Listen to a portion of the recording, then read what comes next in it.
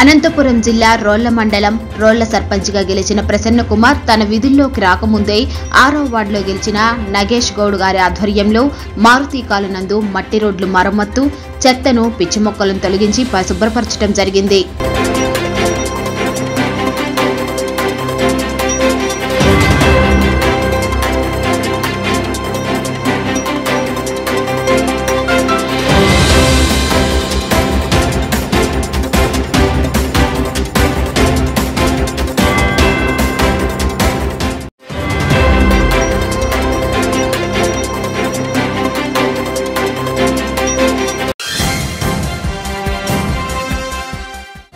Today TV ప్రతిక్షణం ప్రజాపక్షం.